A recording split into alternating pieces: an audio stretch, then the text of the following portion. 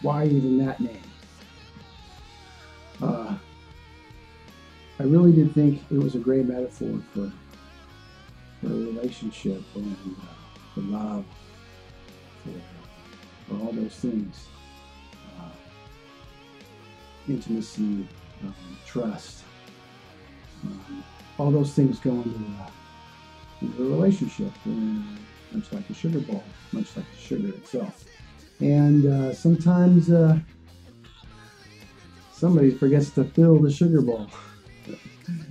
um, sometimes both people do. So, anyways, I thought it was a great, it was a great, uh, it was a great metaphor for that. And so, um, that has always been uh, the idea, and, and, the song itself really, really was the impetus for the whole album, the start of that.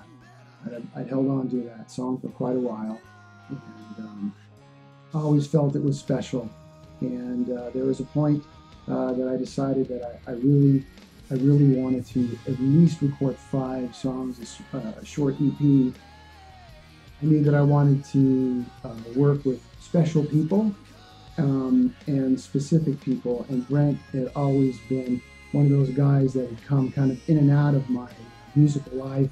You know, always was always just so stellar and always added something special to whatever it was I was doing at the time. So I decided that's the guy.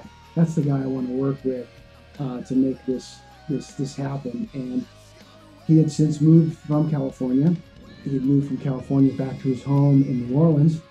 And so packed up the guitars, got on a plane, and went to New Orleans.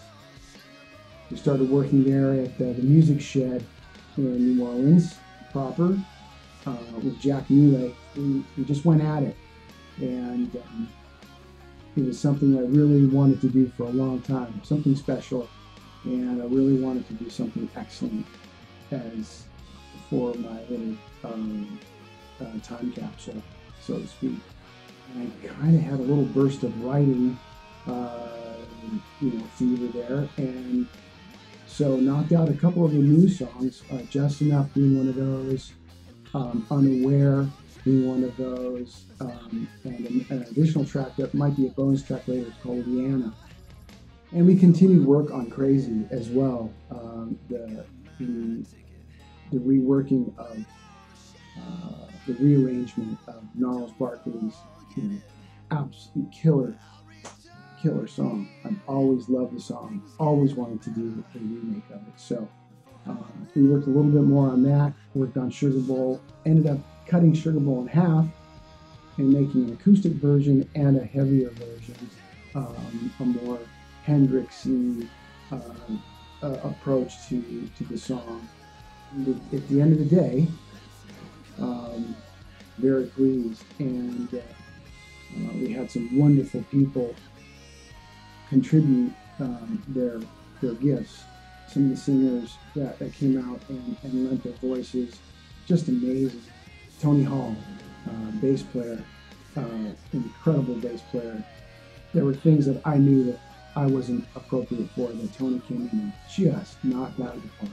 So that's what we did. It's a little piece of me for sure. Uh, and hope you enjoy it.